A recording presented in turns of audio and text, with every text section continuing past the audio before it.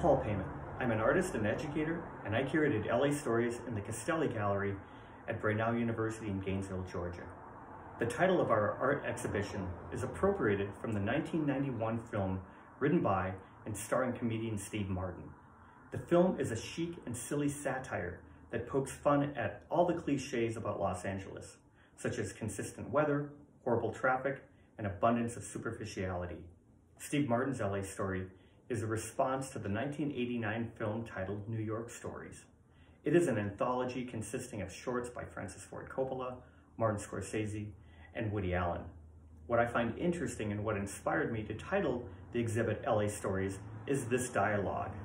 Traditionally, New York has been known for its culture, especially in theater, art, literature, and fashion.